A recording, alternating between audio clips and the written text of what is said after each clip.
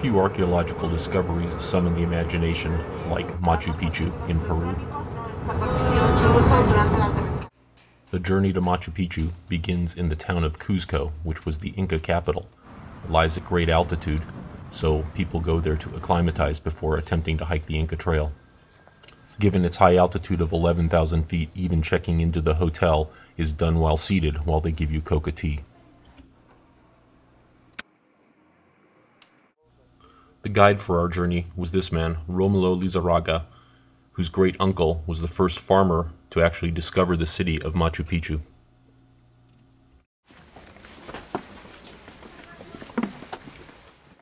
During one of the acclimatization days, we went into the sacred valley of the Inca, the Urubamba Valley, to see some of the local ruins before starting our journey on the Inca Trail.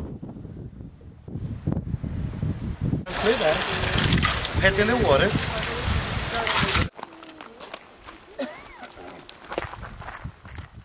While we watched the porters put our expedition together, we were reminded how most people visit Machu Picchu on train. They go on train and they come on train. The first part of the trail isn't quite what you expect.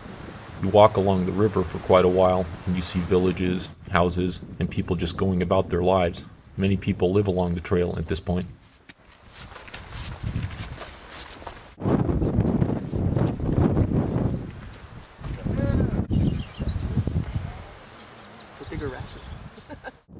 After lunch on the first day, the trail was a little different. We turned away from the river and we started seeing more ruins. Most of us had never heard of any of them.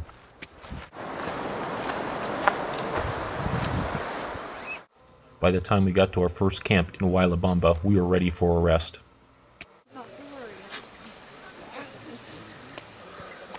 Super duper. We made it in about uh, six hours as far as this point. Excellent. I think tomorrow we're gonna begin a little later. So it could be 7.30, beginning to, to walk up to the mountains. Is that okay for you? The next morning, we started our long hike up to the highest point on the Inca Trail. It's translated to Dead Woman Pass. It's almost unpronounceable in Spanish.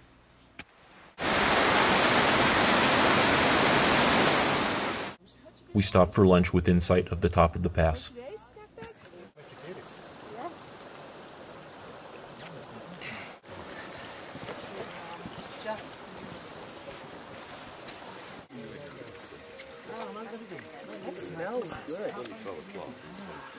Esta es el camino de la Inca.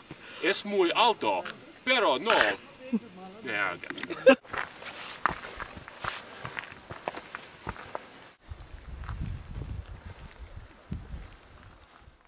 When we reached the top of the pass, we were all relieved. At this point, we realized altitude was not going to be an issue for the remainder of the hike.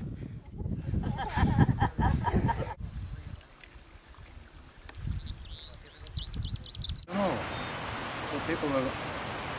I, I think. Our second night was spent at Runkurakay.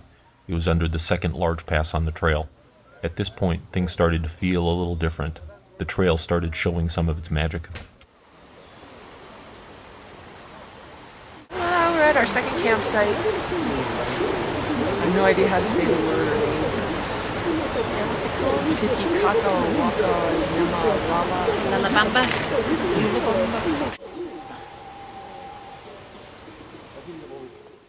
The third day, it really hits you.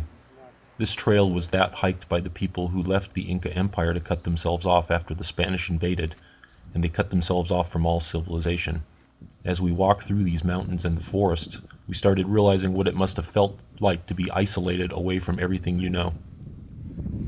Or I have some people interested in. Signs of civilization were growing rare. Occasionally, we would run across a city that had recently been uncovered by an archaeological dig.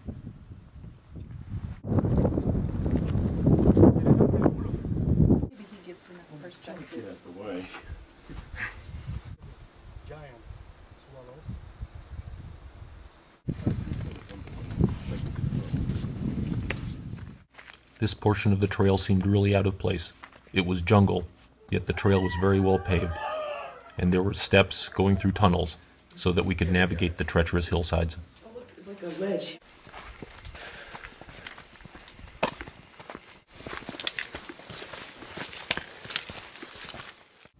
Our final night on the trail was at Phuyupatamarca, above the ruins.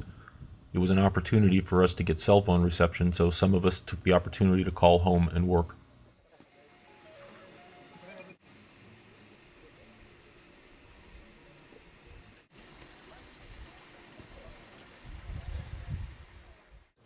This was the last night we spent with our porters. The next day they would hike out on a shorter route and catch a train on their way back. They didn't hike with us all the way to Machu Picchu. The final day was spent going downstairs, upstairs, and through ancient cities that had been recently dug up.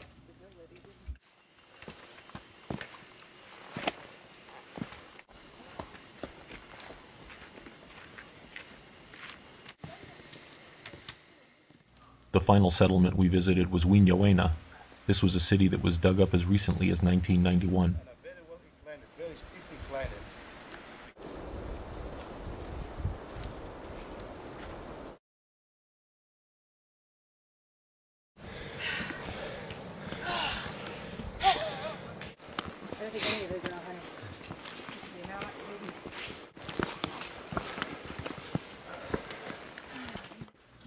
Finally, on the afternoon of the fourth day, we arrived at the Gate of the Sun. We walked through it to get our first look at Machu Picchu. Half walking.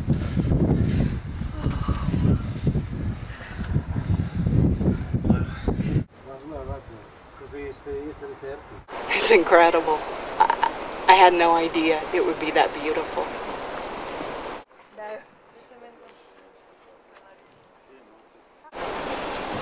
Oh, it's unbelievable.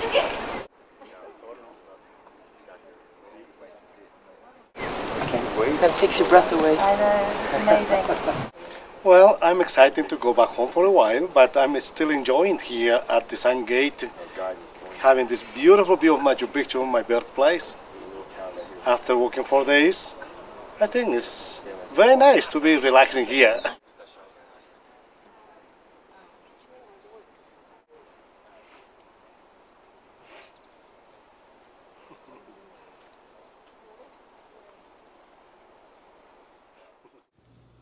That afternoon, we walked down to Machu Picchu and took the buses down to Aguas Calientes, the town below Machu Picchu.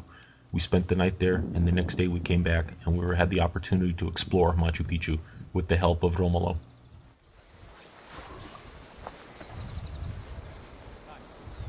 Picture because there are problems in Cusco, the Spaniards doing this, doing that. So these people accelerated the construction. Look at that. Yeah.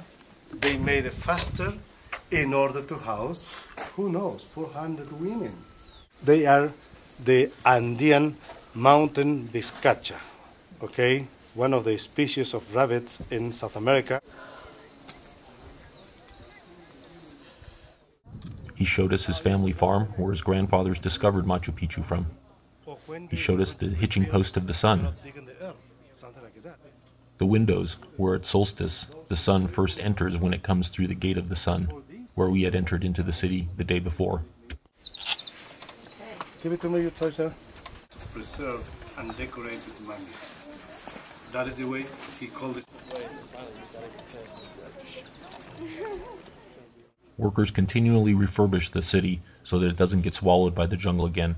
They've even refurbished a small section so you can see what it was like when people lived there. That's what killed the Incas. Infected llama spit in the water supply. Towards the end of the day, after the better part exploring Machu Picchu with the expert help of Romulo Lizarraga, we headed back down to Aguas Calientes just to get a feel for what it's like in a Peruvian mountain town. That afternoon, we boarded a train and went back to Cusco. At that point, we felt like we were just regular tourists.